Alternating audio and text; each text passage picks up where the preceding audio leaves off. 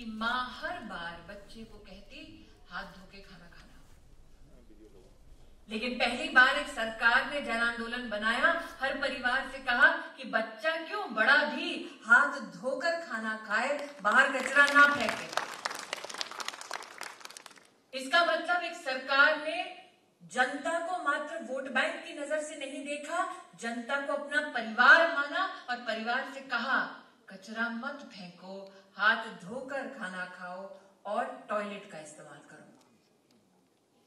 उसी श्रृंखला में प्रधानमंत्री जी ने आह्वान किया कि जब हम भारत के नवनिर्माण की बात करते हैं तो उस भारत में कम से कम हर घर में एक नलका तो होना चाहिए, जिससे शुद्ध पीने का पानी मिले।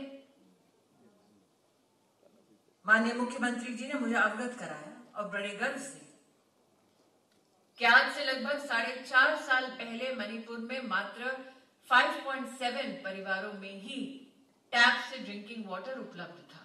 अब वो नंबर बढ़ के 51 परसेंट हो गया है। लेकिन संकल्प भारत सरकार का और निश्चित रूप से मणिपुर सरकार का ये है कि जब तक हर परिवार में एक टैप ड्रिंकिंग वाटर नहीं देता तब तक हमारा काम अधूरा है इस काम को हम मिलके केंद्र और प्रदेश की सरकार पूरा करेंगे ये हमारा संकल्प है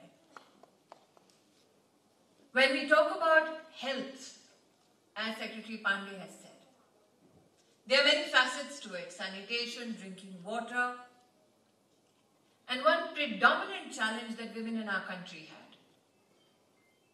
was the challenge of picking firewood so that you could burn a stove and feed your family in the evenings.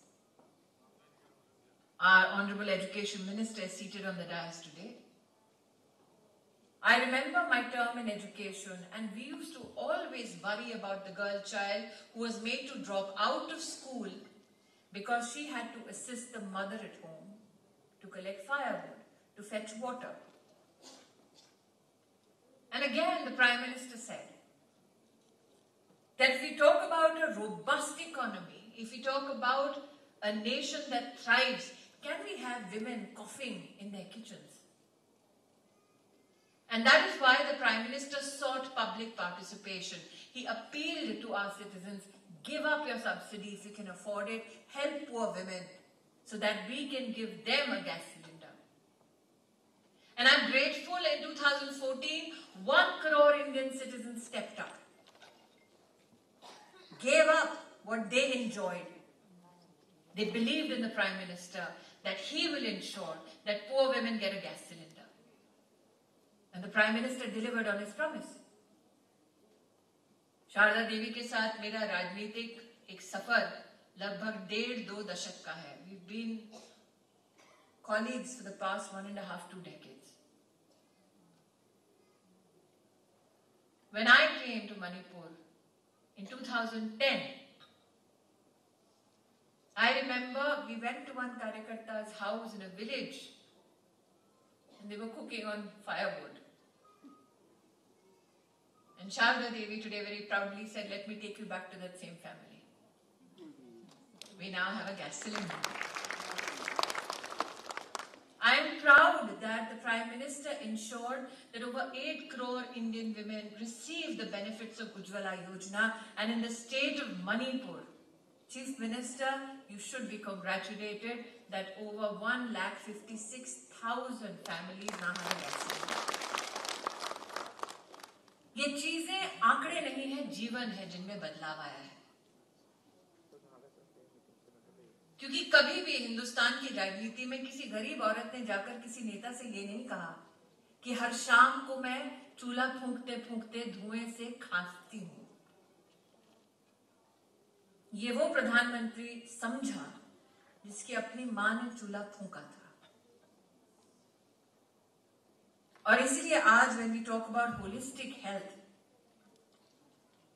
we speak about the benefits of Ujjwala, of drinking water, of toilets. Because these are entities that together form the Poshan Abhiyan. Ladies and gentlemen, Poshan Abhiyan is not limited to the Women and Child Development Ministry alone. It is a partnership between 18 ministries of government of India. And we come to you today as an appeal on behalf of those 18 ministries. What are the changes that have happened in our country in terms of even narrative? हमारे देश में प्रधानमंत्री जी ने कहा योग वो साधना है जो हमारी पूंजी है I remember recently on the internet there was a rage. America में किसी ने कहा दिस इज़ कार्डियोथोरेसिक ब्रीदिंग उसका फोटोग्राफ देखकर कहा ये तो प्राणायाम है which means we as a civilization have not only developed but celebrated the idea of holistic health for centuries. And today, during this program, when there was a presentation on Ayush,